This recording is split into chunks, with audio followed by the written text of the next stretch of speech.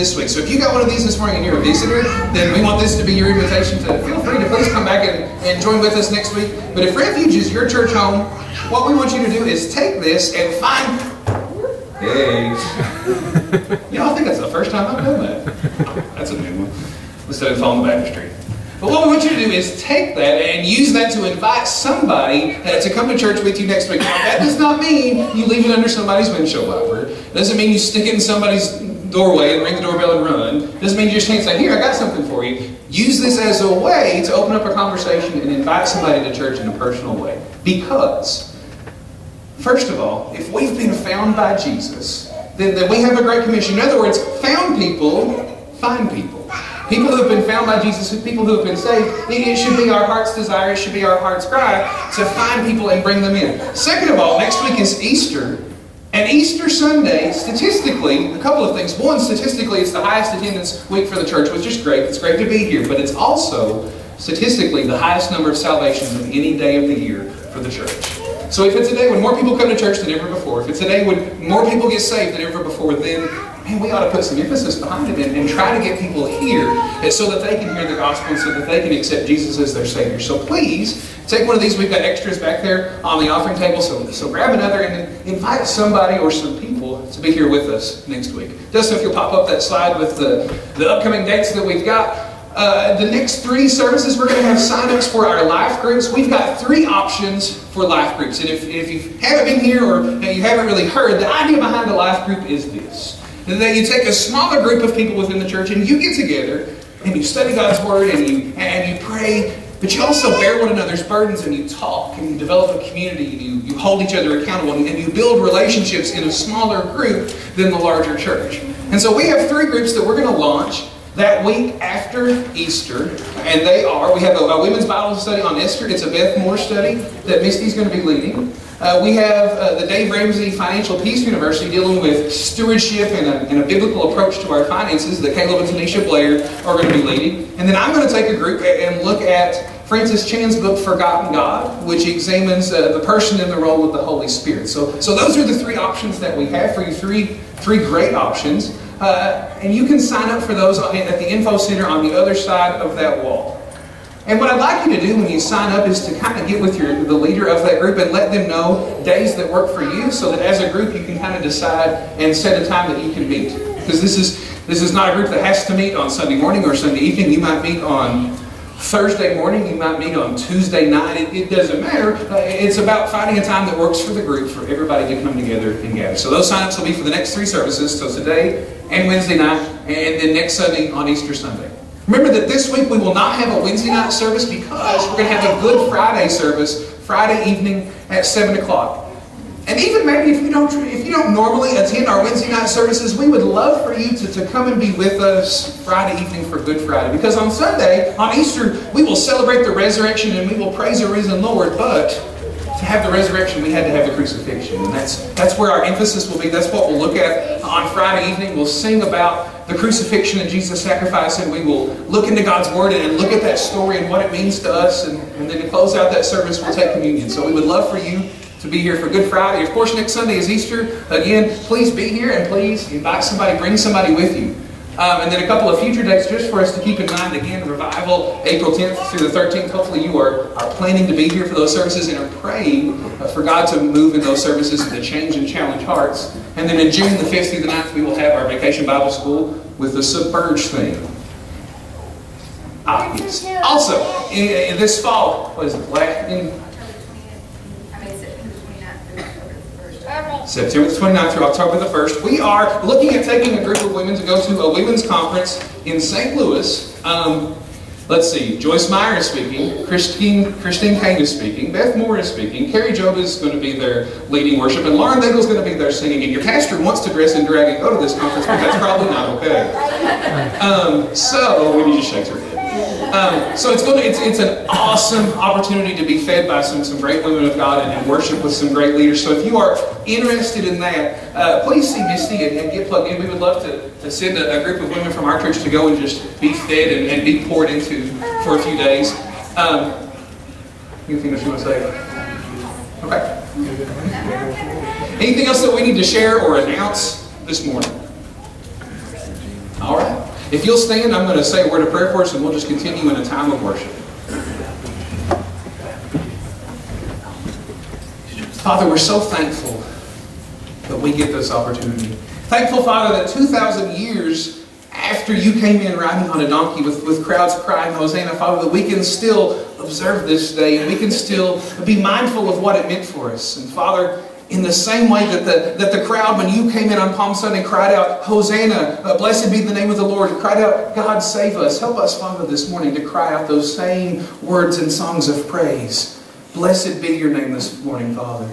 Uh, we need you to be our Savior. We need you to be our Lord this morning. So help us, Father, this morning to think on what you've done for us and to give you the praise that, that you so deserve from us this morning. Help us, Father, to praise you without limitations, without restrictions, without inhibition, but to give you the praise that you deserve because of who you are and because of what you, we've seen you do for us. Would you be with us, Father, as we, as we look into your word, as we break the bread of life together? Would you speak to us in a fresh and a new way from it and challenge our hearts this morning? We ask this all in your name. Amen.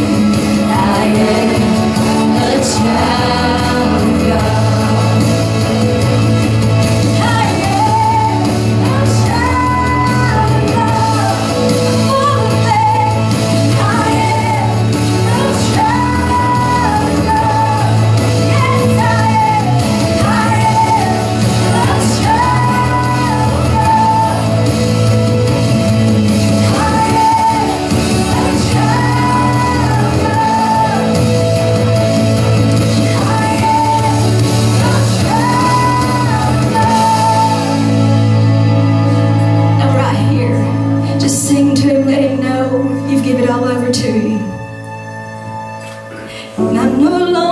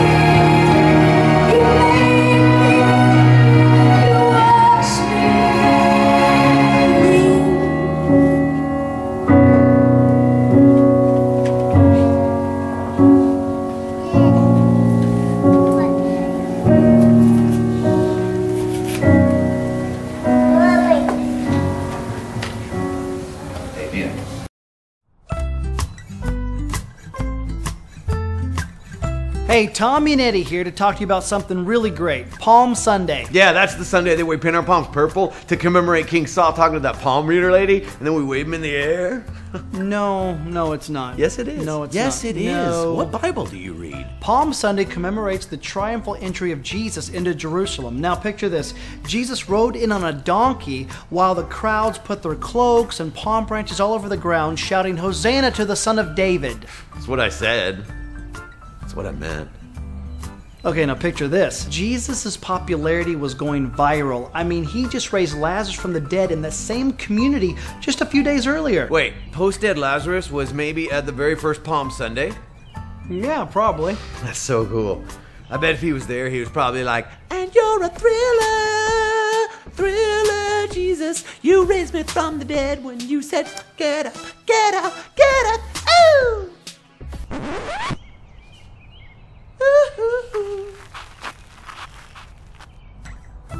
Now, to complete all of this, Jesus needed a donkey. Now, you'd think that a king or a prince would ride in on a horse, but not Jesus. He knew the message that he wanted to send. You see, a donkey represents peace. Anybody riding a donkey represented peaceful intentions. Yeah, it says right here in Matthew 21, it says that Jesus sent two of his disciples to get him a donkey. Yeah. Hey, I wonder which two he sent. Mm, maybe Thomas. I doubt it. I bet he sent Andrew. Andrew would totally do that. And probably Tony. I bet he said Andrew and Tony. Tony's not a disciple. Oh, sorry. Tony is. Still, not a disciple. What translation of the Bible do you read? Jesus needed a donkey, so he asked two disciples to go get him a donkey. He told them they would find one in town, tied there next to a colt. Yeah, yeah, yeah. And then he says, untie them and bring them to me. And if somebody asks you about it, you tell them the Lord needs them? Jeez. Yeah, what? Well, Jesus told his disciples to go steal a donkey for him. What Bible do you read? It doesn't say that at all. Like, I can't figure this out. I mean, Jesus, he changed water into wine. Cool. He fed the 4,000. He fed right? the 5,000. What? He fed the 5,000. It doesn't matter. It does matter, not the fourth, it's the 5,000. We're splitting hairs. I'm sorry. Jesus fed a large group of people, and that's cool. He he healed people with leprosy. He raises Lazarus from the dead, and then boom, he's like, "Hey guys, go steal me a donkey." I'm just saying, I don't think that's very WWJD. The significance of Jesus riding on a donkey, which he did not steal, was to fulfill the prophecy that is found in Zechariah 9 9. Yeah, but the And the king riding in on a lowly donkey with his way paved with palm branches, the palm branches symbolize triumph or victory. the what? The palm branches. The bread. Palm thought, branches, Palm Sunday. I thought it was the palm. They should call it Branch Sunday because that's confusing. We all have palms with us all the time. I just I feel bad. I, I'm sorry, Palm Sunday. Palm Sunday is a time for us to prepare our hearts for the agony of his passion and the joy of his resurrection. So this week, let's cover the road to the cross with our hearts, our souls, and our minds as we reflect on the final week of Jesus' life. And let's celebrate in anticipation the return of the King of Kings.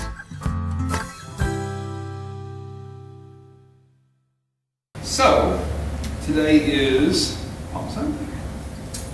And hmm, let's just go here. Because I'm sitting there last night watching a certain thing that happened between 5.15 and 7.15 last night. I was watching this thing, and it occurs to me that this is a really good sermon illustration, so I'm going to, I'm going to go here even though it hurts a little. Um, Palm Sunday. What, what is Palm Sunday? What would that look like today? And I'm going to give you a couple of examples that kind of help us to realize how quickly and how fickle our minds can be. So, I have to go here. March Madness, right? It's, it's March Madness. It's, the, it's, it's our most favorite, maybe, sporting time of the year that lasts over three weeks. Everybody loves March Madness. People are filling out brackets, and if you have a specific team that you love, people get really fired up for those teams. And if you've ever maybe been in an arena for one of those games, if you've ever, uh, and I have, the last couple of years I was there for the first couple of games, kind of glad I wasn't this year. Um, but, but I was I was in St. Louis a couple years ago, I was in Louisville last year, man, people just get fired up. Like they love their team so much. The band is playing and people are screaming and people are, are yelling and girls are fainting and cheerleaders are screaming. And, and, there's that moment, they've, they've warmed up for a long time, but they, they go back out. There's that moment when they actually come out of the locker room for like the, the actual time during the game. And they come sprinting out on the floor. What does everybody do? Everybody just loses their minds in those moments. Everybody is just screaming and yelling, and they're so excited about that team. And even though I wasn't in Des Moines, Iowa last night, I'm pretty sure that that's probably what it looked like for Kentucky fans. But then, then the team didn't do what they wanted them to do. Then the team didn't do what they expected them to do. And so then, man, I love Kentucky basketball, but sometimes our fans are annoying. And so I get on last night and you, you read on Facebook what people are saying about them. We need to fire Coach Cal. I hope they all transfer. They ain't worth it darn anyway. And people are just saying all these terrible, awful things about the team that they were screaming and yelling for two hours ago. But when they didn't do what they wanted to do, then suddenly all of those people just turn really quickly and they're not satisfied anymore. It's, it's kind of in our human nature. And really, that's exactly, that's exactly what happened in this moment that we see. Jesus, Jesus had come in on Palm Sunday, and the word had been getting around of what Jesus had done, and, and the skit guys in that skit that they just showed us kind of revealed to us and kind of showed us how excited people were that they're waving palm branches that are supposed to be a symbol of victory that they that he comes in though in spite of them waving those palm branches in spite of them laying down their cloaks to pave the way and crying out blessed is he who comes in the name of the lord or or hosanna which literally translated means god save us. In spite of him doing all of those things jesus comes in and he comes in riding on a donkey. And there's an there's an, a reason behind that because Jesus didn't come to save them the way that they thought that they would be saved. They were looking for a military leader and they thought that Jesus was that person. That Jesus was going to come in and he was going to free them from Roman oppression. And he was going to save them from, from everything that they thought was going wrong. And he didn't. And there are so many examples of history in history uh, where we see a similar thing happen. Y'all know I teach history for a living, and, and so a lot of my, my illustrations, my examples come from history. Woodrow Wilson, who was our president uh, during World War I, who was a very peaceful-minded person. And, and, there was a man named Gene Smith who wrote a book about Woodrow Wilson, and literally the title of the book was When the Cheering Stopped. And the book told about Woodrow Wilson and, and kind of his attitude toward World War I, and how at the end of World War I, people were optimistic. But Woodrow Wilson had this plan called the 14 Points, and he had this plan for how the world was going to be a peaceful place and we were never going to have a war like that again. And so right after World War I, Woodrow Wilson kind of became a world celebrity. He would travel around when he would go to other countries. There would just be flocks and, and throngs of people that would come out to cheer and yell for him because they kind of saw him as the symbol of this peace that had been negotiated. And that lasted for about a year, and then it stopped. And they started to realize that, that the leaders in Europe were really concerned more about their own countries than they really, really were about peace for the world. And so slowly people started to, to lose that hope. And then here at home, Woodrow Wilson, who was this like amazing president that everybody was behind and everybody loved, he couldn't even get the Senate to pass his idea to, to create a League of Nations. They, they turned on him because the peace that he had talked about really wasn't happening. And so just a couple of years later, Woodrow Wilson died, basically a sad, lonely man. A couple of years earlier, people throughout the world are cheering and clapping for him. And in just a couple of years, because things really didn't turn out the way they wanted them to, people turned on. And history is filled, uh, the history of the world, books, characters in books and movies are filled with these examples of people who started really humbly, who rose to be really popular, and then they came to the end of their life and basically in utter humiliation. And when we look in our text and in the passage of the Bible that we want to look at today, we see Jesus. We see Jesus who was the, the son of a carpenter, who was, who was educated in Nazareth, who had gained favor with men, who was being cheered and who was, who was being praised on this Palm Sunday and in the days and the weeks before, but who would soon be mocked and scorned and, and cast aside by the same crowd who was doing that cheering just a few days earlier. We'll talk about it on Friday, on Good Friday. But on that, on that Palm Sunday, as Jesus is riding into Jerusalem, there are several different things that he's aware of.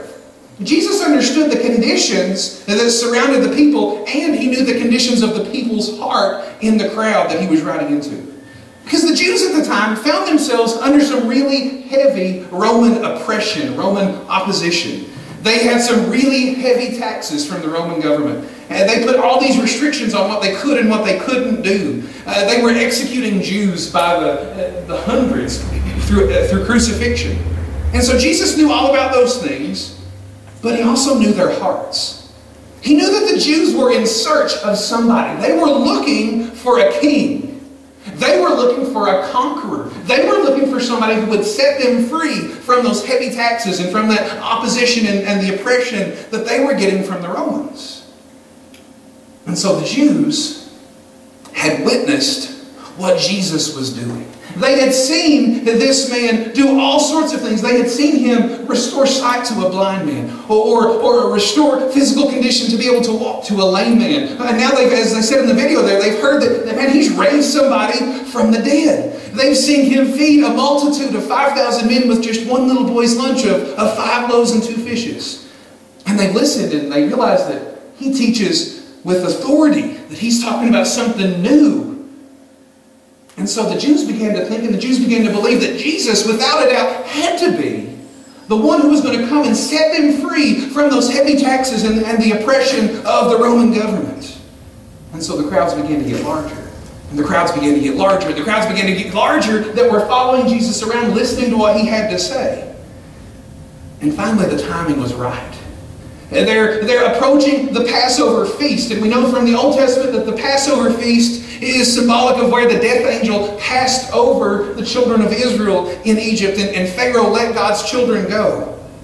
And they believe that maybe now, just now, as they, as they celebrate this holy day of Passover, that maybe, just maybe, Jesus is going to be the person who's going to lead them out of Roman oppression.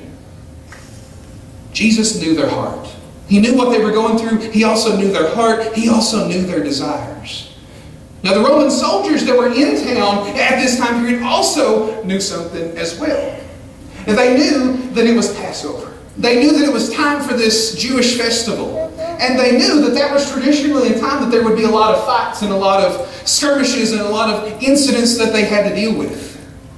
They had not forgotten that, that, that several years earlier, a man named Theudas uh, of Jordan had ridden into Jerusalem with a pretty similar greeting. And they believed that this man had done miracles and that he was going to be their Savior. And so he had ridden into town and 400 of his followers got slain. So they, so they knew that this could be a big event. But we know that as Jesus rode into town, the crowds are, are waving palm branches which was a symbol of Jewish nationalism. It was a symbol of victory. And they're shouting, Blessed is the King! Blessed is the one who comes, comes in the name of the Lord. And they're cheering him, and they're praising him, and they're exalting him. But what we find as we continue to read on in the Gospels, as we read about this story, we find that something peculiar happened. On Palm Sunday, they were cheering for Jesus, and they were yelling, and they were screaming, and they were so pumped up on Jesus. But then something happened. The cheering stopped. Because Jesus didn't gather any troops. Jesus didn't lead a revolt. Jesus didn't do what they expected him to do. Instead, if we read there, Jesus goes in and he drives the money changers out of the temple. Jesus paid tribute to Caesar. Jesus taught that, that giving out of poverty is better than giving out of abundance. Jesus taught that in order to be great, you must be a servant. So really, Jesus did everything they did not want him to do. And so the cheering stopped. And you know what's amazing? Is we do the same thing. When, when, when, things go our way and when God does what we want Him to do, when Jesus rises up to our cause, it's really easy to cheer for Him. It's really easy to be a Palm Sunday Christian. Yes. But what about when Jesus does not do those things? What happens when we face opposition? What happens when we face troubles? Because too often when we face troubles in our life, if we're a Palm Sunday Christian, we'll say, Hosanna is the King of Kings, and we'll say, God save us. But when He doesn't do what we want Him to do, we'll just stop cheering. Amen. We'll just sit back and just get mad and frump up and be proud at God. Too often in our lives, the cheering comes to a stop. And our words of adoration and our words of praise really quickly fade away when we start to have to face life as it really is. Sometimes God gives us what we want, but you better believe this morning, that God always gives us what we need. And in our flesh and in our humanity and our feeble minds, those two are not always the same. It's just that sometimes in our humanity we experience a little problem. Is sometimes our wants and our desires blur and we begin to see them as the same things. And the same thing happened to this crowd on the streets that were cheering Jesus. They were, there were some things that they could not see about what Jesus was doing in their midst. So if we look at a few verses in Luke chapter 19, verses 41 through 44, Luke writes these words. As he approached Jerusalem and saw the city, he wept over it and said, If you, even you, had only known on this day what would bring you peace, but now, but now it is hidden from your eyes. The days will come upon you when your enemies will build an embankment against you and encircle you and hem you in on every side. They will dash you to the ground, you and your children, within your walls. They will not leave one stone on another because you did not recognize the time of God's coming to you. Yeah, they're looking for Jesus to come in and save them, and these are the words that Jesus has for them.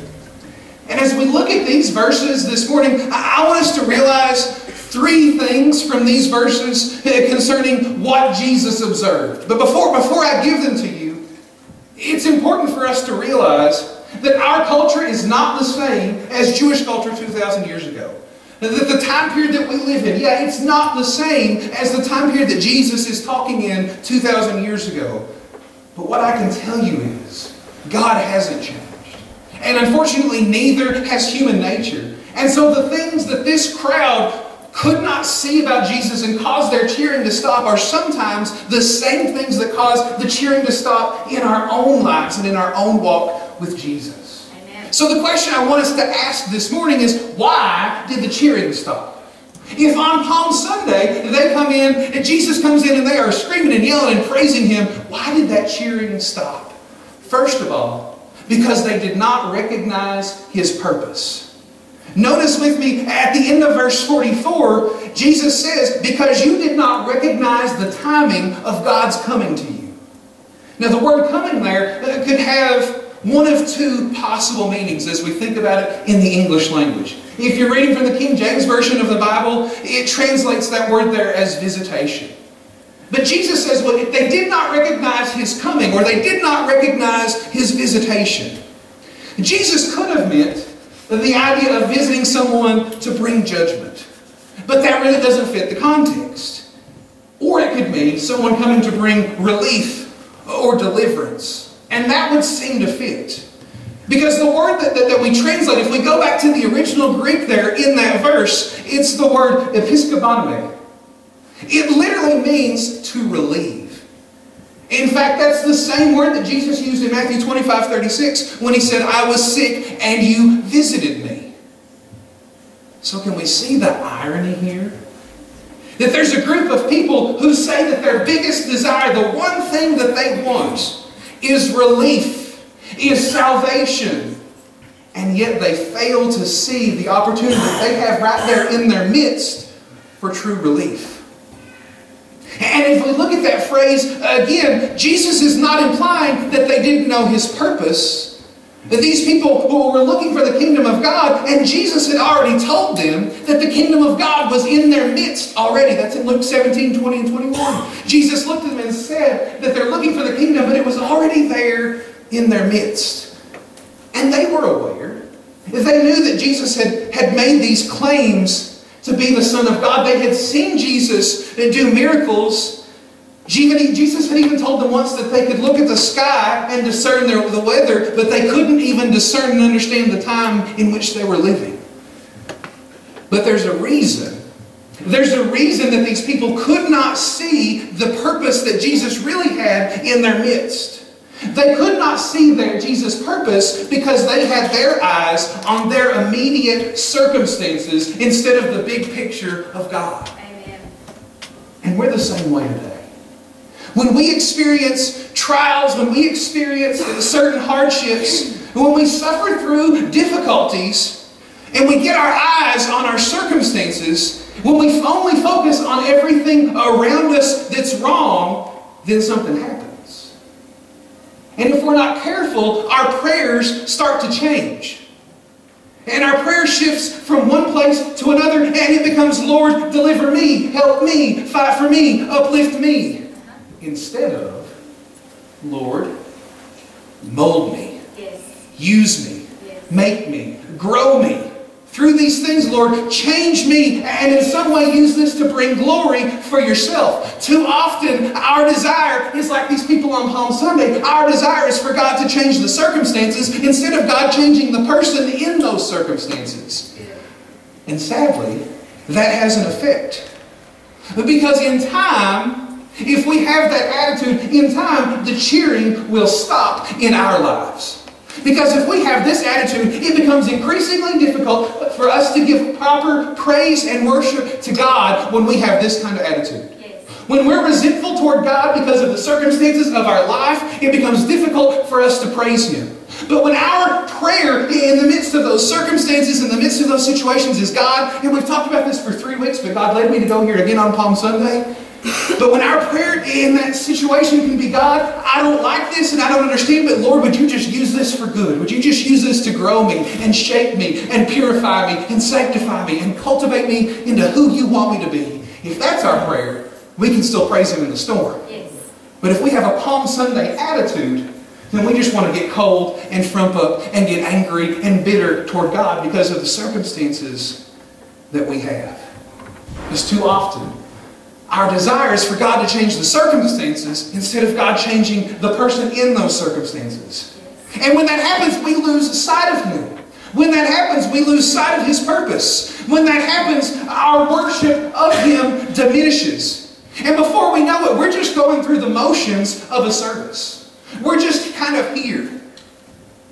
And we're praising God only for what we want Him to do instead of praising Him for who He is and what He's already done for us. And these people, these people on Palm Sunday, they desired, they wanted deliverance from oppression. What they didn't realize was that Jesus came to deliver them from something even bigger. They wanted deliverance from their circumstances, from the high taxes, from the bad situation with the Romans. Jesus wanted to deliver them from the power of sin. Amen. They're too busy looking at the little picture to understand the big picture of why Jesus really came and what he really came to save them from. Don't let that be what causes your cheering for him to stop. Don't lose sight of the fact that in any circumstance, you are still in the presence of the Prince of Peace. You see, they were looking for a mighty warrior. They were looking for some military leader who was going to rise up and deliver them. And because they were so concentrated on their circumstances and what they wanted, they missed the fact that the Prince of Peace was riding by. They missed the fact that the Prince of Peace, who came and lived a perfect life to deliver them from their sins, was right there in their physical presence. You see, it's hard to get peace from this world. It's hard to get peace from a world that's full of tribulation. But with Jesus, we can have peace even in the middle of tribulation. Now, first of all, the first reason that the cheering stopped was because they did not recognize his purpose. In fact, they really refused to recognize his purpose. Second of all, they also refused to accept his terms. And notice again what Jesus said in verse 42. If you, even you, had only known on this day what would bring you peace, but now it is hidden from your eyes. Jesus looked at them and said, If you had known what would bring you peace.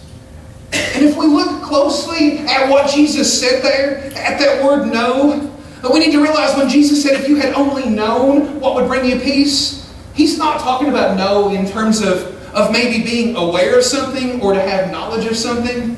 It's used in a different sense. It's the same word that Jesus uses in Matthew 27 23, that when he says that on that day he's going to say to some, Depart from me, I never knew you. Because definitely Jesus knows about us, definitely Jesus has knowledge of us.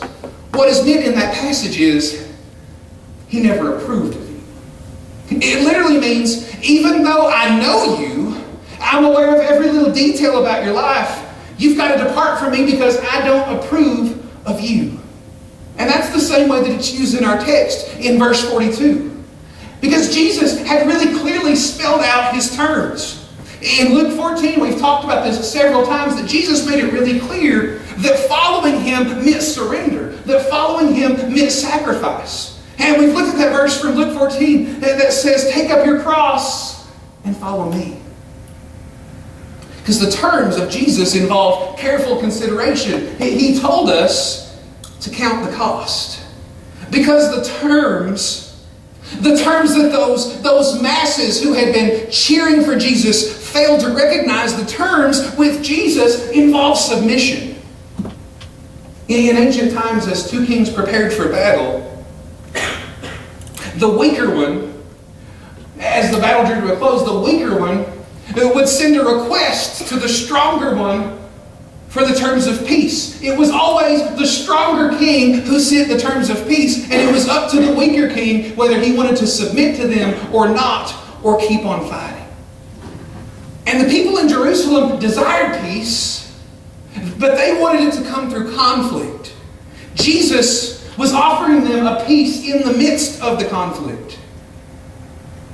And Jesus said about Jerusalem in Luke 13 34, Oh, Jerusalem, Jerusalem the city that kills the prophets and stones those sent to her. How often I wanted to gather your children together, just as a hen gathers her brood under her wings, and you would not have it. See, the, the partially ironic part is if you go back to the, the actual name, Jerusalem, the city that we're talking about, the name Jerusalem actually means founded peacefully.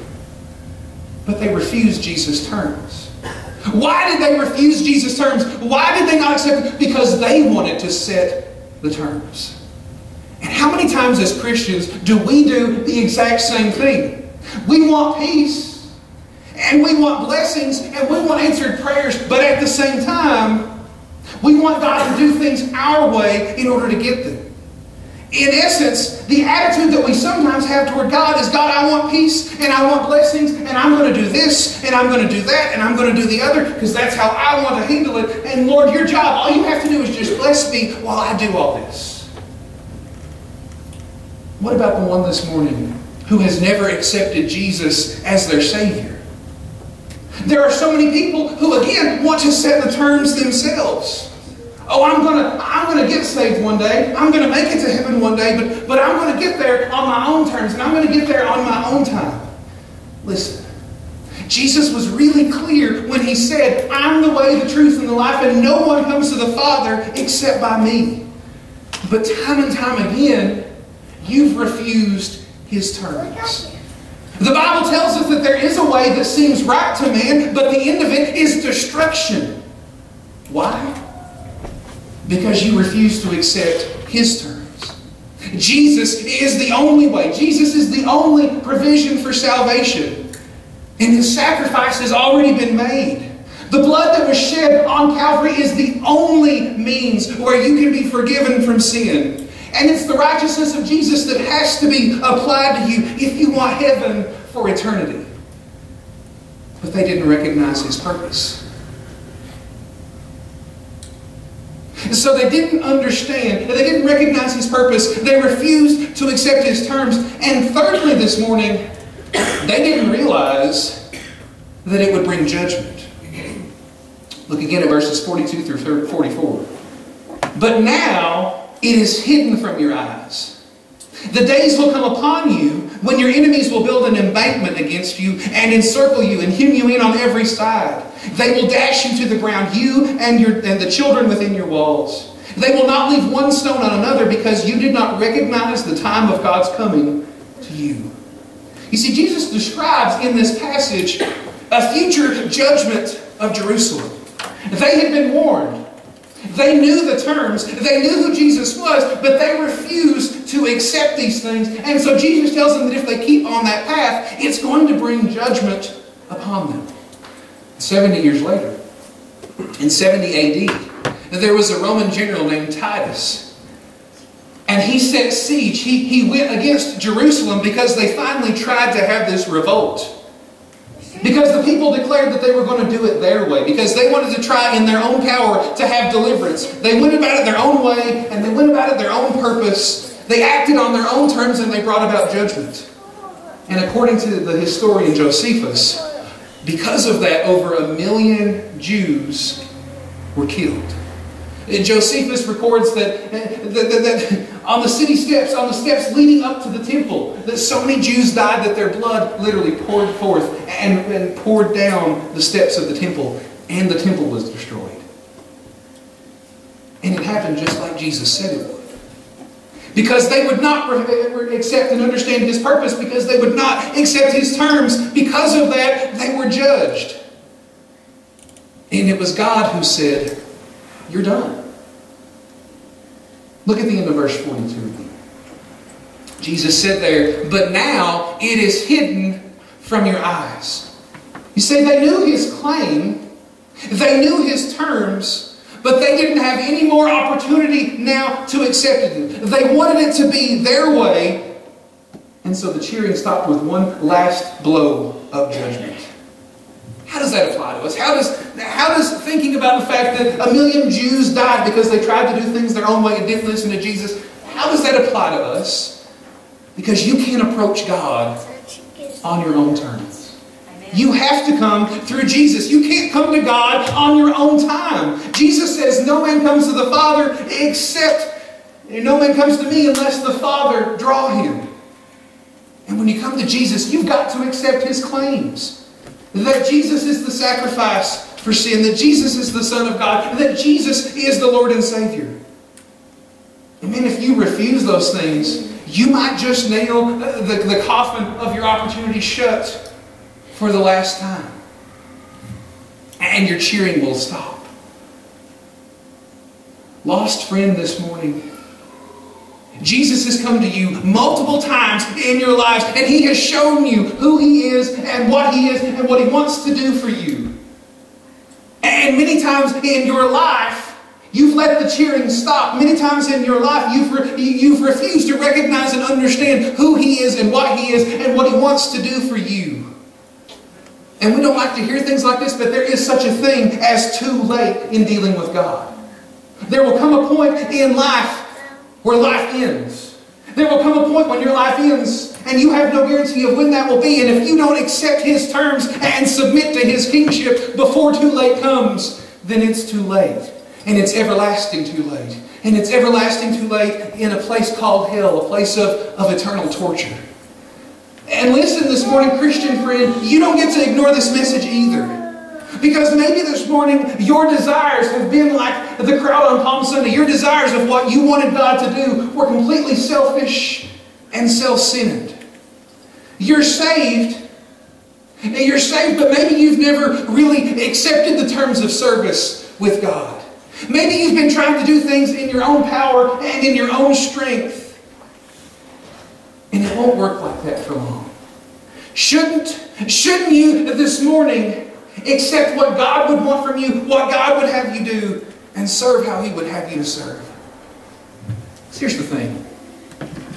Humans, no matter the point in history, humans tend to behave the same way. And as we look at Palm Sunday, sometimes we want to think about Palm Sunday as just a praise Jesus kind of day. And that's what it was, but it was shallow. They were praising Jesus for what they thought he was going to do for them. And when Jesus did not do things the way they thought he would, the way they thought he should, the cheering stopped. Amen. And just five days later, the same crowd that was crying Hosanna was crying crucify him. Five days later, the same crowd that cried Hosanna was crying set Barabbas free and crucify Jesus.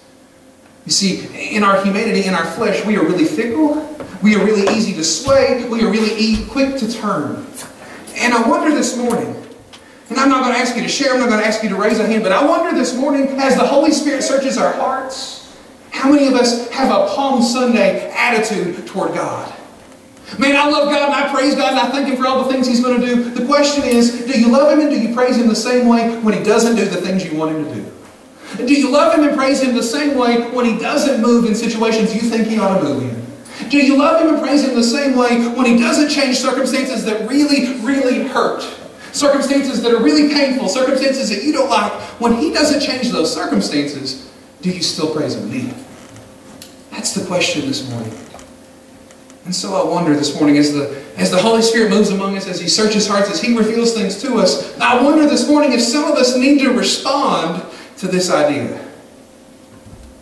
How deep is your walk with Him? How deep is your surrender with Jesus this morning? Are you surrendered to Him to the point that you could say, God, I don't like the circumstances. I don't like the fact that you're not moving. I don't like the way that you're doing this, and it's not what I would do. But God, I trust in you. And so, God, in the midst of this pain, in the midst of this trial, would you just mold me and make me and shape me into who you want me to be? Because, God, I'm going to praise you because you're still God. I'm going to praise you because you're still on the throne. I'm going to praise you because no matter what, you saved me, and that was enough. I'm going to praise you no matter what this morning. Or, if we're being honest this morning, in our heart of hearts, is there a root of bitterness toward God? Because there's a relationship, there's a circumstance, there's a problem, there's an issue, there's an illness that we don't like. And we've allowed this dividing wall to come up between us and God. Don't be like the crowd on Palm Sunday. Don't let the cheering stop. Continue to praise Him. Continue to surrender to Him because He is worthy this morning. Could we stand?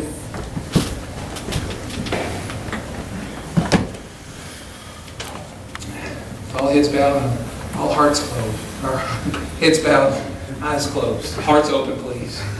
Would you just allow the Holy Spirit to search your heart this morning? Because I believe and I sense in my spirit this morning that the Holy Spirit is speaking to hearts this morning. And there are issues this morning that need to be resolved. There's resentment that needs to be laid down. And there's disappointment and bitterness that needs to be laid down. And there's worry that needs to be laid down. And there's strife in relationships with other people that needs to be laid down. And if we could lay down all of those things and see Him for who He really is and what He really is, there could be some depth in our relationship and we could praise Him even when things don't go our way. Don't be a Palm Sunday Christian. And don't be someone who only praises Him when things go right. But praise Him no matter what. If there's an issue in your walk this morning, would you just come? Would you surrender it? Would you lay it down this morning? Would you make it right? So you can have the walk in the relationship that He wants you to have. Maybe there are other needs, uh, other issues, people that you need to pray for, whatever it may be. Could we just have a time of, of concentrated prayer and surrender and worship? Before we leave this place this morning, would you just come?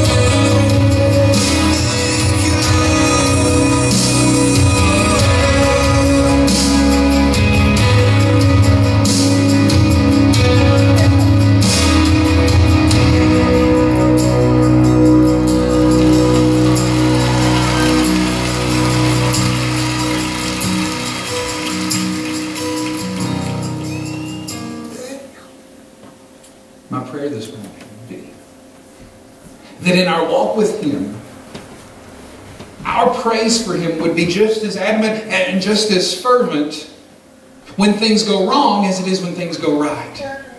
That our, that our appreciation for Him would never waver even when things go wrong. Because the crowd on Palm Sunday, the cheering stopped because they didn't understand who He really was. They didn't understand what He really wanted to do in their midst. They wouldn't submit to, to what He really expected for them, and so they brought judgment upon themselves.